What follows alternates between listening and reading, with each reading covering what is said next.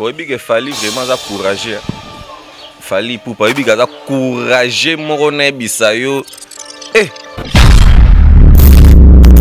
yo obeti album moko boye eza nango bamiziki moko facile bamiziki moko boye ata moto olalaki na yo ata ozosokola na kikoso bazwa enregistre ovoi miziki moko mondele deja alambi asali son ya ba dj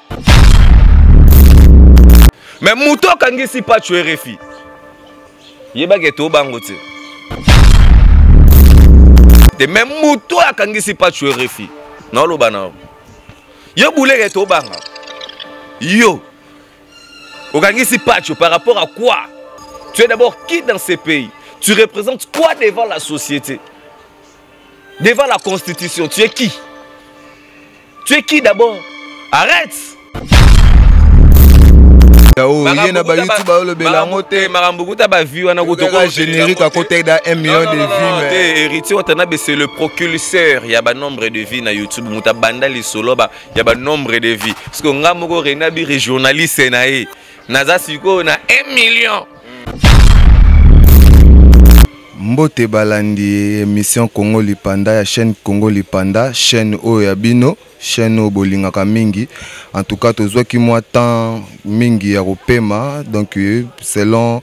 par rapport ya par rapport mais tozongi lisusu vraiment congo lipanda en action congo lipanda en marche hein? congo lipanda jimmy achoki vraiment Bo s'abonner ebele ebele ebele mingi vraiment en tout cas bienvenue na émission na bino euh, présenté par ngai Gianni Menga hein, animateur culturel na bino quoi donc moi na bino vraiment hein, Jimmy Achoki yo ozali wana oyebi donc euh, lelo pona lelo toye juste euh, kolobela analyse musicale na biso toyeba bien tozonga susu depuis euh, le 18 décembre 2020 ezalaki ya koyinda na marché musical na biso tomonaki vraiment bamisia na biso basepesaki ba biso batondisaki biso vraiment na marché musical babiloko ya bien en tout cas ngai nazofélicité susu mpena bamisia na biso a ah. Hmm, on félicite pena ba mission na biso pour ba comprendre pena que guerre eza entre bango na bango te mais guerre pena eza entre ba ba ba, ba mboka quoi hein donc batali pena ba ninga batali ba nigérien batali ba ivoirien ba moni pena que te faut to bunda nde na bango merci na bino pena bosali biloko kitoko ba clip kitoko kala mingi te toko decortiquer yango na ndeko na ngai invité na yambi awa boko découvrir ye kala mingi te euh, actualité mususu arrestation ya confrère na biso Pacho RFI vraiment esali pasi donc ti sikoyo tozoyeba te mpo na bit nini mpo ye aza na ye mopanzi sango ye eza na yango mosala na ye me kokóma ti na niveau mpena baautorité na biso bakanga ye donc toyebi te eza nini me toye lelo na analyste monene journaliste mpe oyo ayebani vraiment donc eh, akopesela tokoyeba raison nini mpena oyo bakangeli pacho rfi vraiment quoi donc eh, tout pas sans plus tarder nazo présenter bino invité na nga ekosala bien natika ye moko mpena se présenter donc euh, confrère na ngai ndeko na ngai mbote na yo hein, papa voilà mbote na yo mpe le grand journaliste epuis mbote na bato tu baotala biso monde entier na kati ya congo lipanda et là je vois automatiquement le boss le patron euh, qui se respecte bien donc euh, jimmy achoki mm. moto ya mbongo le véritable donc euh, moto aza kosunga bajeune aza na bainitiative avec impact na idéologie mm. et puis bamerci ya trop na la cosa nostra la pulka moto na tembe l'homme de mi ange mi démon euh, héritier watanabe donc euh, masolo to eza carré merci ya pongo pontiac et puis euh, iso mobali sans oublier pdg bobo beloy cg na biso charlie robenga rubench masolo to eza carré bafanatique tout ya héritier watanabe baspiritas bale supreme banani bino tout dj samurai na kati ya paris masana nga epuis nadar joker eh, vediri olingaka boye esalaka kitoko makasi ya miriam wete ya basta paola schengen kila londres mwasi oyo nzambe azwi ntango kokela panda une année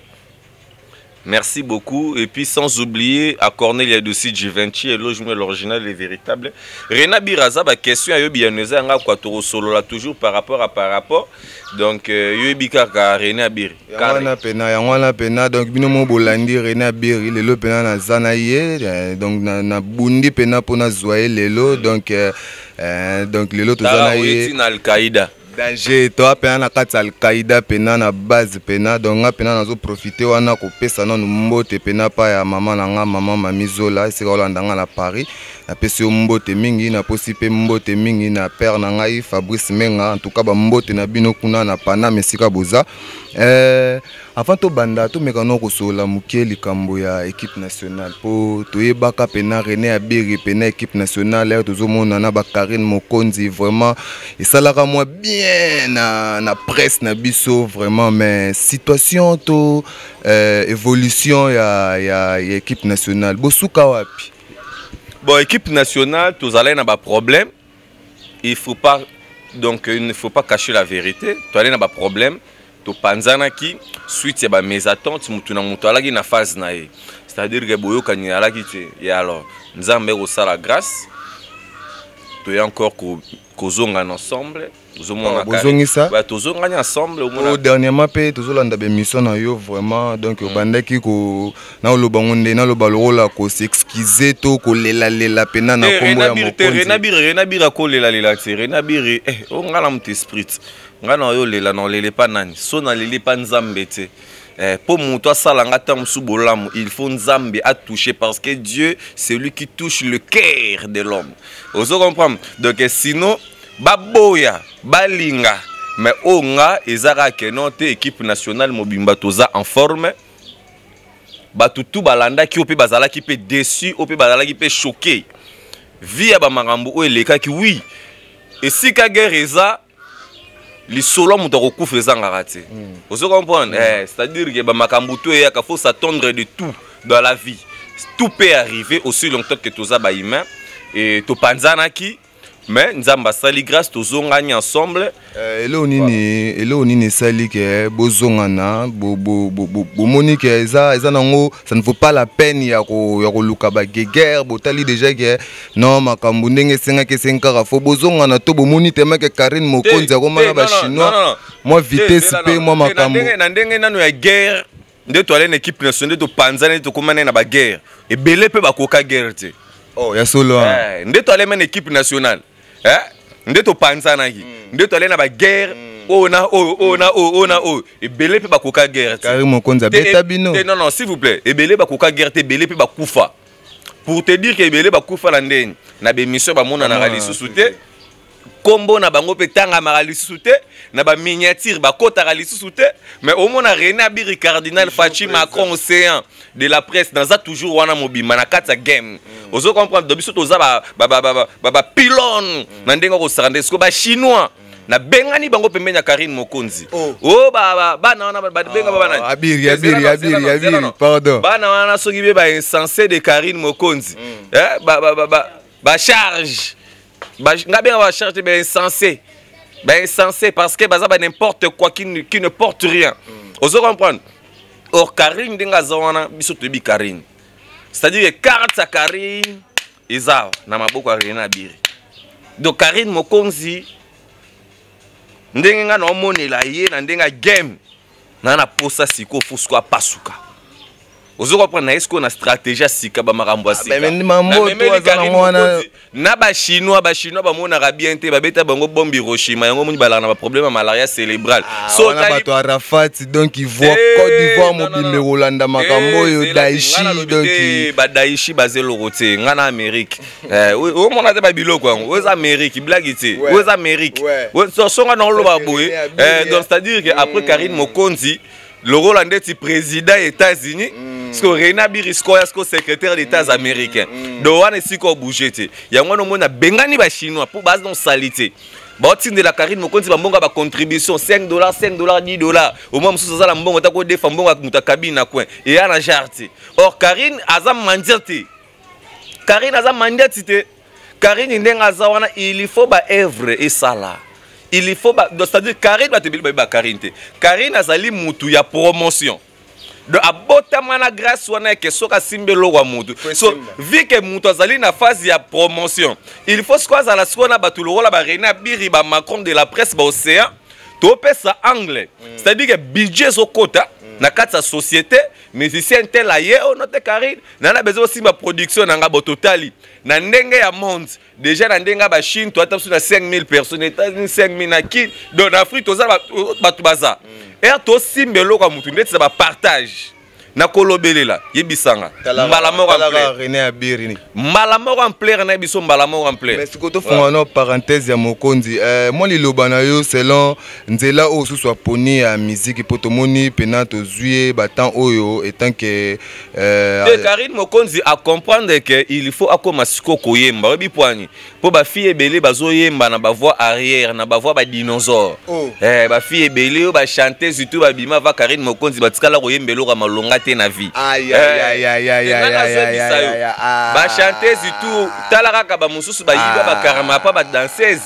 ake na ye kuna akomi se musicientozela nanu karine mokonzi avabanda makambo akutaki deja karine akuta mutu te karine akoti karine ere abandi makambo ya miziki akuti mutu te o mwana mwasi mo bayembaka soki mpe ndenge nini te karine akuti mutu te karine aye aplante evre mbala moko mpe esimbi mpe carte mbala moko ajoue yango omoni bazo potana potana potana nango ah, donc voilà. euh, Karine Mokonzi wana ezali kaka parenthèse hein? donc euh, selon mm, par rapport à par rapport mpo toyebi mpena René Abiri na Karine Mokonzi équipe nationale ezalaki mpena libanga mais lokola ye moko René Abiri aconfirme mpena ke donc euh, makambo ezonga donc tokosepela tomona mpena baprojet yango René Abiri ayebisi biso mpena si, si, si, nana euh, 50 000 projet na memeli Karine Mokonzi tokota sikoyo na makambo ya ndule rene abiri banda le 18 décembre marché na biso industrie na biso musicale etondaki mpena ti ezokontinue mpe kaka kotonda donc février oyo su baministère batondisi biso susu banini mwa bilan na yo to mwa constant na yo par rapport ya baalbum oyo eza na marché oyo banini tobanda nanu na gogan Est-ce que au moni te que kobimisa par exemple album nzela moko na na na na aigle eh, ezalaki mwa mwa defoyance te to mwa ndenge nini pesa na mwa masolo mpo tomona ke mi ange mi demon bande ebimi wi babiloko ezobeta pena donk lowa baranker donk libanga tembe na tembe libanga mais ondire ezopela te mpo tokos eza wana ah, epela te par rapport à quoi ebike fali vraiment aza courageux fali pupa oyebi kaza courage moko nayebisa yo eh, na te non euh, fali vraiment aza courage eh, koriske kobimisa album jour mon héritier otanabi kozwa risque wana oh. donc fali moto ariske eh, fali pupa ariskaki makasi vraiment na ndenge akosala nde kobimisa album jour mon héritier epuis album yango obimisi nzela mon héritier le 18 yo obeti album moko boye eza nango bamiziki moko facile bamiziki moko boye ata moto olalaki na yo ata ozosokola na kikoso bazwa enregistre ovoi miziki moko mondele deja alambi asali son ya ba dj donc musique ya bongo babetela yango concert babetela yango mingi baplayback oh. ozo comprendre eh. mais tomoni ye na baconcert batourne bamakambo ebele ebele wana soki concert okomona ye akobeta ba ba orgazi akoyemba banzembo ayemba bakala baya banzembo ayemba bakala kala kala kala parler de sport na Côte d'Ivoire wana ezali aza na nzembo akoyemba te parce que banzembo oyo oyo fali pupa bimisi ezali ba chanson moko ya bana mikie banzembo moko boye ya ba petit ya ba mineur ya ba jeune garçon or héritier watana bela koza nostra la pulga moto na tembe son oyo abeti esenga il faut guitariste akota drumer akota il faut nani abeta bamadruma mpena basali na bango eloko te donc c'est à dire que orchestre donc c'est à dire que album héritier bato babeti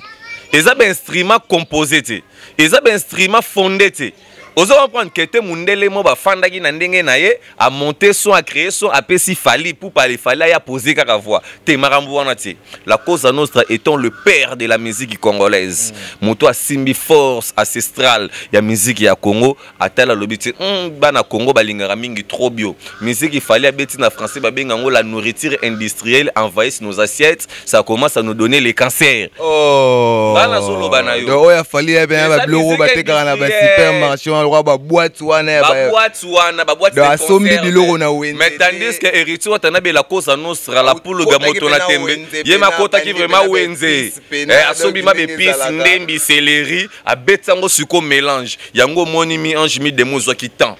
ya préparation mpo héritier alaki sire na biloko azoya na yango yo moko yebi héritier c'est le premier artiste musicien congolais le plus aimé de la république ainsi que dans des, dans des communautés internationales ozo kopana ndenge mabe te eloko esalaka bino mpasi mpe jalousie mpo héritier watanabe ayebi musique ayebi ndule aocontrôle je donc fali acourage ozo comprendre bacourage wana yaka na yango kaka Eh, merci merci donc eh, eh, batelespectateur bino moko bozomona rené abiri donc donc makambo yango donkiso nde toza wa towelisaka te kono te tokende tobeta te rené mais dege olobelaka mpe na la team wata boye mm. ah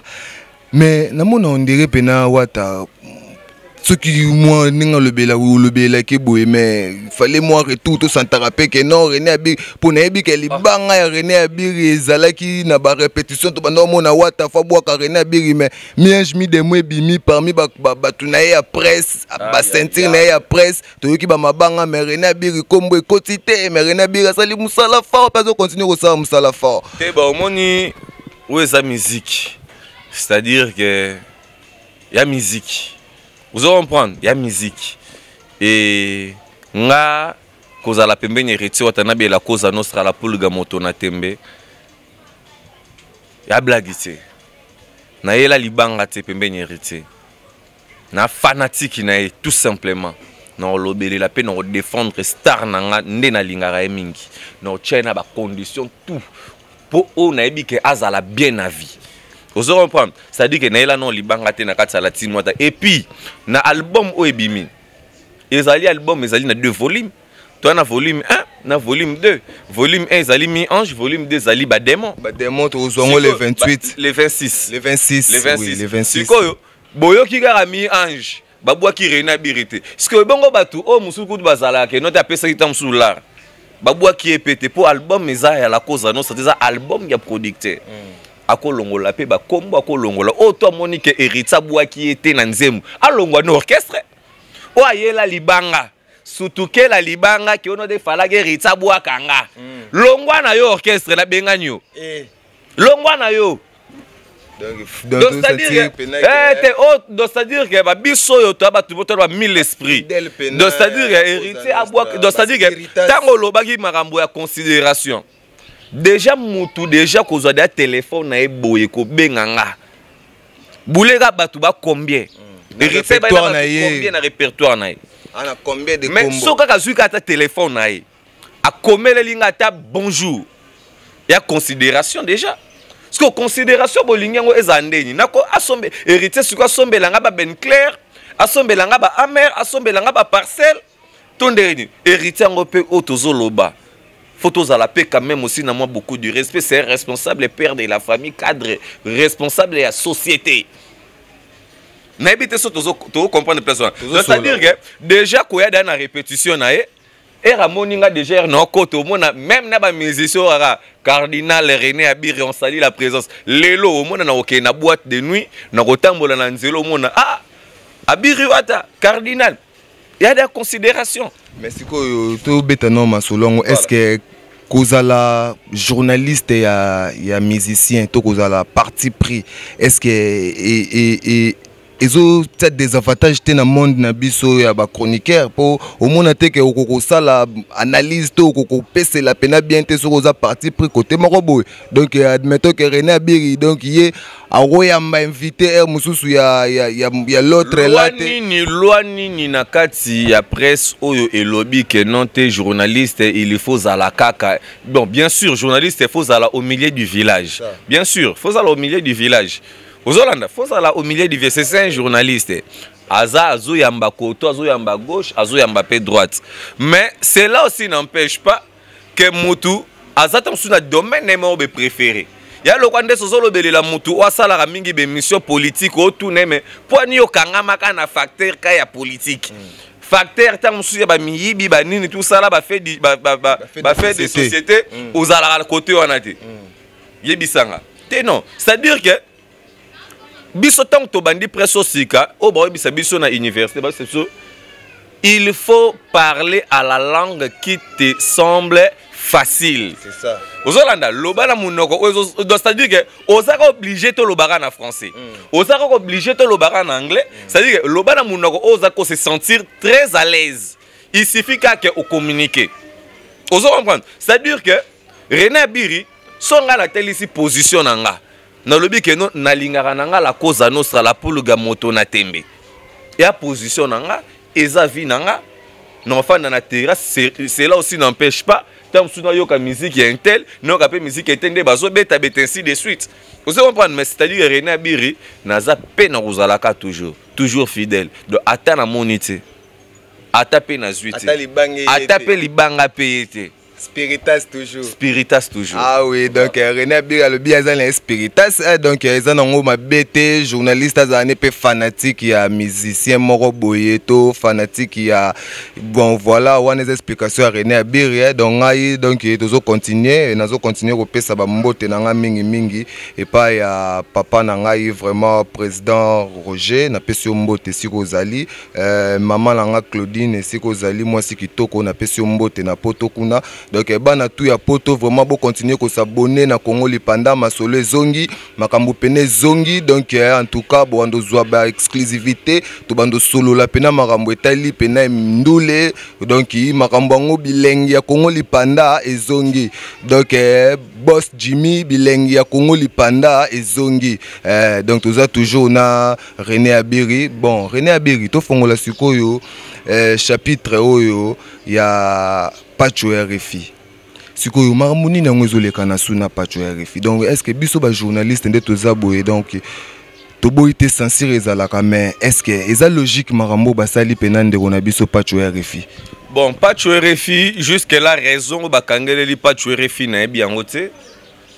mais ça fait mal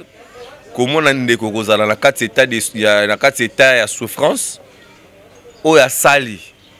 na ngai na yo toyebi te il y a de ceux qui disent que non alobaki ba n'importe quoi contre le gouverneur de la ville Gentini Ngobila Ngbaka que je sali ba mususu balobi ba problème privé donc jusque là moto azali na na vraie version ya arrestation ya Pacho RFI azali te mais sinon en dehors de tous nos polémiques ainsi de suite mais avant okangisa mutu okofandisa mpe mutu te obengi ye nano ata mwa pembeni oyebisi ofaire voir ye koto problème eza boluka ta mosusu bo arranger pacho rfi il est le seul journaliste na minute oyo na kati ya congo oyo akangami ya bafaçon tout ya kobeta ya konyata ya kokɔta na prison ya kokɔta ipe crime donc azali moto oyo azwi azwi quand même ba ba ba ba ba, ba souffrance mo ebele na kati ba makambo oyo ya alors non senga kaka na bato to baotala video moto oyo akangisi pacho erefi balobi eza gentini te nandimi te ke ya gouverneur de la ville gentini ngobila na motema malamu oyo gentini ngobila alaka nango nandimi te mais moto akangisi pacho erefi yebaki ete obango te botika koincrimine nkombo nano ya guverner na kati ya makambo ko guverner akangisi pacho guverner gentini ngobila na kimotema malamu azalaka nango jamais akoki kokangisa pacho rfi gentini ngobila akipaka bamakambo ya bato te ye wana ere asimbi makambo ya guvernema mbala moko ozomona kine ekomi propre epuis bato ebele bazoloba makambo ebele gentini asali te Gertrude Ngobila alongoli Congo mobimba et Kinshasa mobimba na système ya courant ya mabele na kala ezala komona na TV mbula ebeti moto oleka banyati courant mais Gertrude Ngobila atomboli basinga preuve ani tala basinga ngwana kaka kosala kaka émission kaka mbama wana bakombata mbaa moko balokota yo te Gertrude Ngobila akangisi pacho RFI te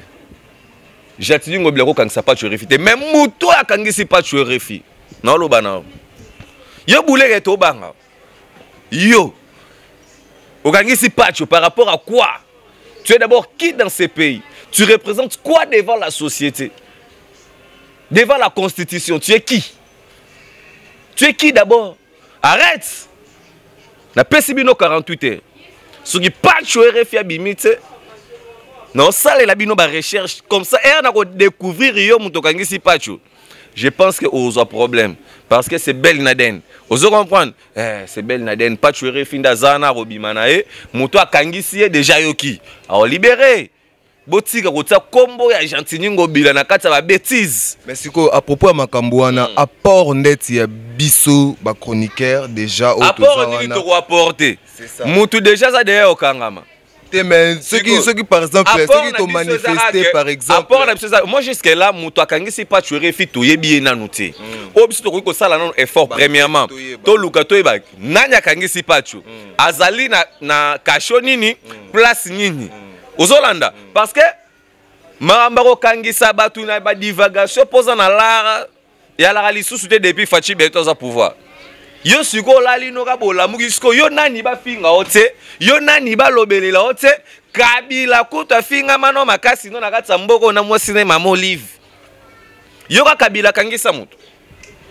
Eh? combien de fois tshisekedi afingami na kati ya mboka oyo oyo ya kodeforme bafoto badeforme na ndenge akosakana te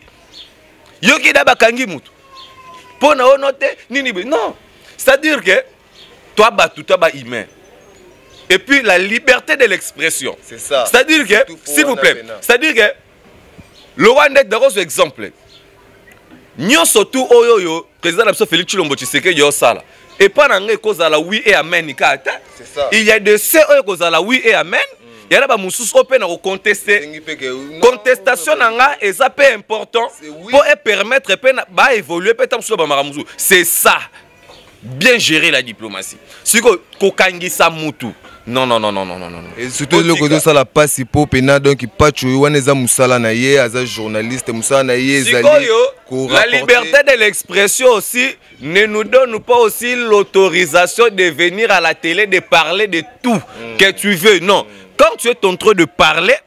nakozwa exemple lokwa nde tinga reina bito na kati ya kinshasa gentini ngobila aosala bamakambo aosala baevre oyo bato mosusu baosepela na yango oyo mpe bato mosusu baosepela na yango te c'est-à-dire ke kotombe mpe na eloko mo gentini asali nga mpe reina bina ko applaudir ya mpe na eloko mosusu mpe gentini ngobila mpe akosala na tele yango mpe na ndenge askante namoni ke te un gentini atengami ake mabe nakoleka na tele poliment avec de langage respectueux de la personne moto na olinga ata mosusu na contredire moto na olinga nalobela amasa na ngai te apapa leki na ngai te c'est une autorité de l'état mm. le gouverneur jotini ngobila mm. soki alingi na conteste eloko moko be vis-à-vis ya notre gouverneur nakoya nango na ndenge ya droiture mm. nakoya nango na badivacation te ozo comprendre nakoya nango avec du respect que notre monsieur le gouverneur son excellence voilà ceci voilà cela voilà ceci mais nakoya te na banda koinsulte to na banda koloba comme un fou à la télé non non non non c'est à dire que bandeko na biso bofingaka baautorité na tv bomeke mpe komanyola ko, ko La télé n'est pas une meilleure endroit pour vous de venir insulter nos autorités de la République. C'est pas bien. il faut to respecter bango koto problème ezali aleka na tv poliment nga rene abiri na gaza nalobelela na bakabila awa na batva batutu batala yango na gaza bagouverneur mosusu awa bandre na gaza na baandre kimbuta ve na biso excellence andre kimbuta ozo comprendre ve pas omwana te mikolo oyo eh, donc azali ve azali c'est-à-dire que toloba toloba mpo na bave na biso baandre kimbuta mais otikala oyoka jamais andre kimbuta okangisa reina biri mpo ani reina biri ere oleka na tele ah monsieur le gouverneur ayebi nayebi manière nini oloba moto na olobelela aza n'importe qui te ozo comprendre papa tobanga to respecte na minute oyo lere déjà parti mm. et alors patuerefi moto akangisi ye ezali gouverneur de la ville te mm. botika kofaire haïr le nom de monsieur le gouverneur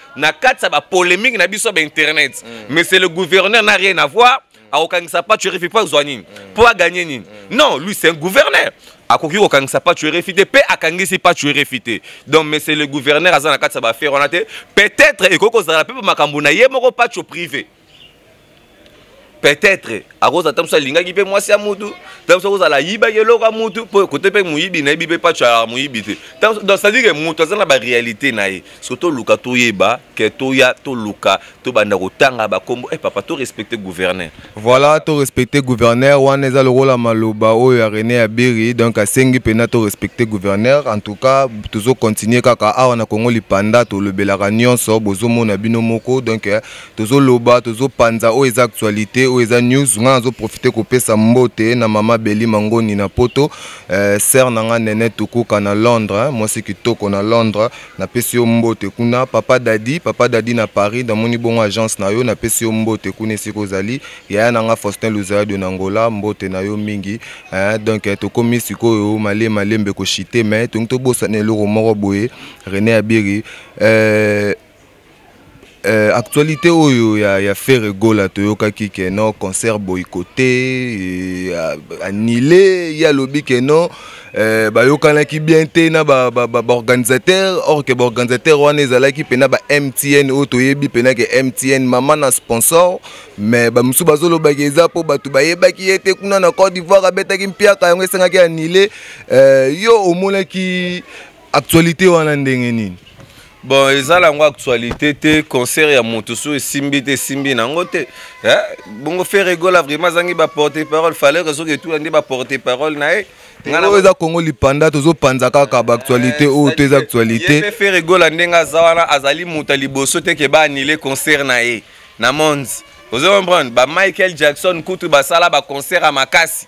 osati ke le jour j be concert annulé mpo population eleki ya cas grave mm. ozo comprendre mm. de ça arrive ferre egola concert na ye ezalaki annulé ah oui c'est bien beau eza nango annulé c'est-à-dire pas te kaka keno te nyonso tu fo kaka mpe kaka esimbaka simba soki fali pupa betimbaki nango te esimbi ale yo mpe ekokoya na nsima de conseil mpe kaka ya yo mpe kaka il faut kaka esimba te bapesi yo mpe moko soki ino mpe kaka te mabe eza te esimbaki nango te so esimbi te eloko eleki tika na vie eya te so fali abeti deux fois soki mpe kuna na de concert kuna mais yo obeti te mosusu moko problème eza te problème eza te bokosala yango sujet de problème pourquoi mpo faire egola c'est un grand chanteur ayembaka bien ana kunga ana baevre abetika concert moko na ndenge afentaka baraka abenzi na ye kakonya azongi na ye ka kishasa soki mpe batya yango soki mpe bajour nini yango wana ngai nayebi te mpo vraiment yo oyebi kaka rena hmm. biri donc euh, spiritas donc eh, wana yaka parenthèse eh, donc toyebi kaka spiritas malgré tout spiritas yango mpe tolela kaka considération wata fa considéré rena biri eh,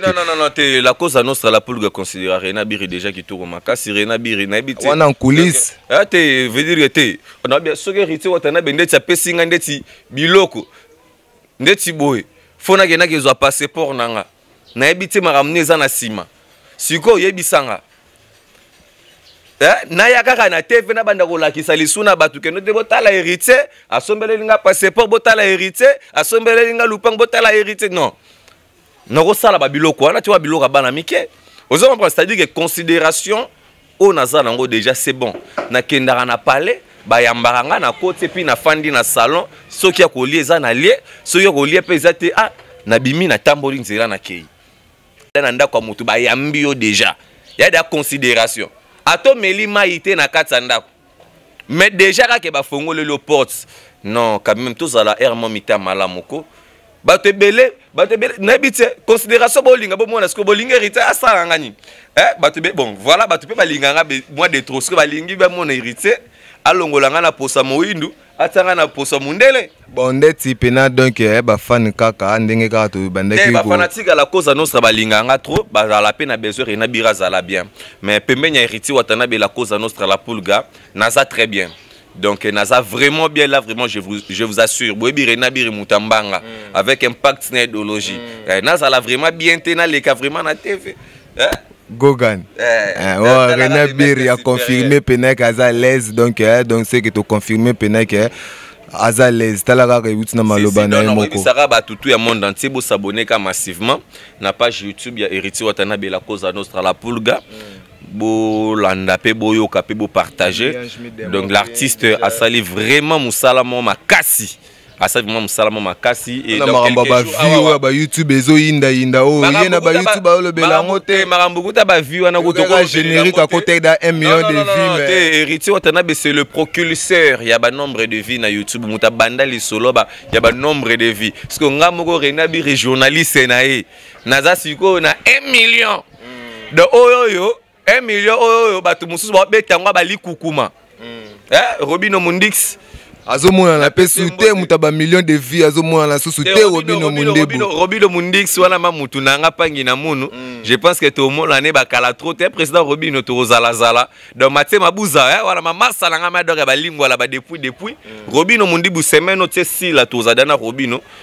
Eh, oyo oh, oyebi ka 1 million oyo oh, bamusicien ebele bazobundana na yango oyo oh, bapatrick beckham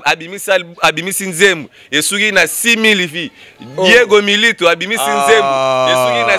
500 vie nani oyo mosusu oyo nani oyo nani oyo mosusu oyo nani oyobabimisiozoloba mingi ozoloba mingino na 1 million ah. don na biso ata chroniqueur aleki bamisien na bavimusicien na vie don nde nazawa na mobutu ndenge akufa bakunde kuna na maroc liwa mobutu ekokisa 1 million te do rena bir akokisa da 1 million kabila oyo auti kobima na pouvoir nani akokisa 1 million te rena biri 1 million do cetadire ke da motu moko befo borespecte do na ndenge mabe te do nazo eh, no pese no pese do respecte mpo monde internet eh, biso monde internet eza monde ya bavie donc eh, rena biri era na 1 million de vie donc faut considération ezala donc naleki na bamusicien ebele Oh, ba, ba, roga roga na legi no roga roga no na 1 million. Do roga roga otema na onanga ti. Do roga roga. Ba musicien toi braza. Ozui nani nani mususu wana nani. Oye na oye na nini oyo. Comment on dit Rwanda. Ah, ba otele. Bon voilà, wana René Abiri hein. Bon to komi. Ba brigade kutu ba longwa maison mère, brigade a longwa maison mère akiko ses orchestre. Sabati. foto na ye kutu ya pamba ezaka na jemi moko ya tata mwasi na bango afanda na banzalema donc c'est-à-dire que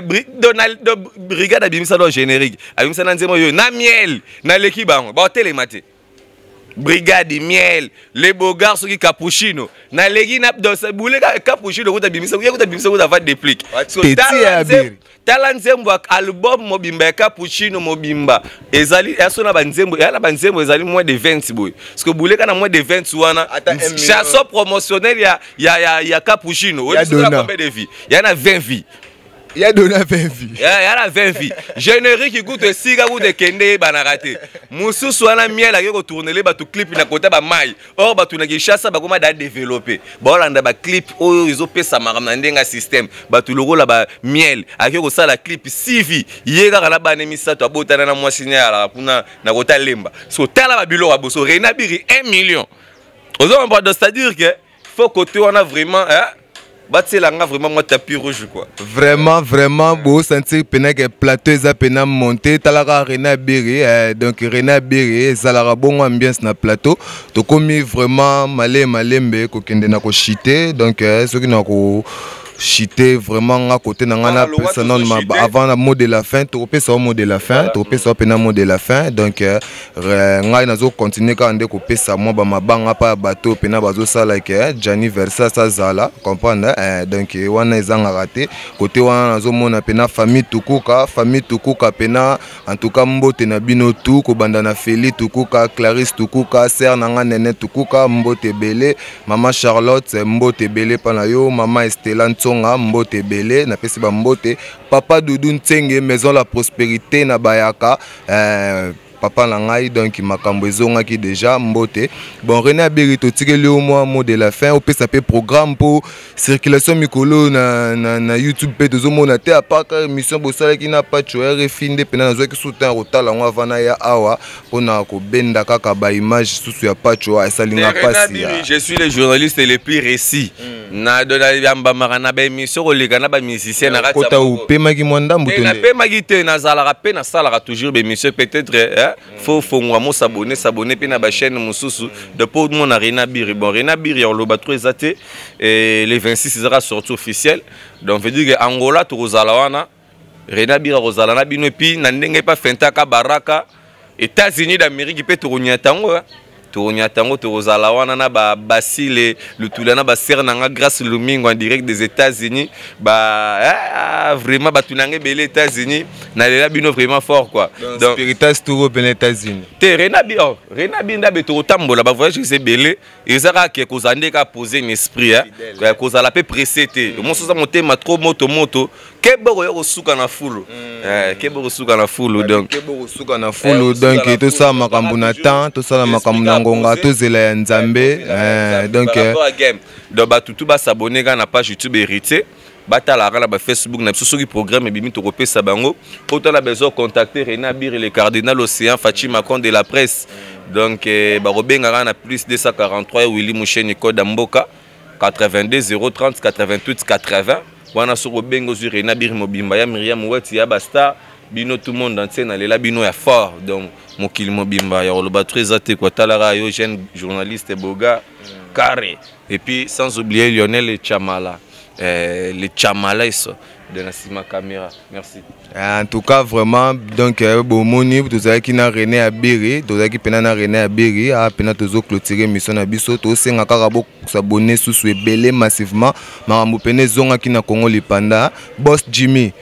makambo ezongaki donc eh, bato baleli trop bato baleli trop makambo yango oyo ezongi kongo lipanda mpena en marche bulo nde bulo tolobi bulo na kongo lipanda eh, avec boss jimmy donc eh, chamala ingénieur chamala donc touche à tout quoi donc ye ayebi nyonso asalaka nyonso donc mignon garçon ngai abengaki mignon garçon eh, donc napesi mbote pa baoyo ya ngai libota na ngai mobima famille menga namoni lor menga eli menga mère na ngai mimi na pale napesi bino tu bambote bambote na bamasa na ngai boa morte ya, ya jogo lotise yeah, jogo lotise ya yo yango wana mpena donc boris ebondo mobali ya kitoko lusakweno napesi bambote ebele tose retrouve na prochain numéro bocontinue bo kosabone botala émission oyo bolanda massivement bosabone toza na bino susu prochain rendez-vous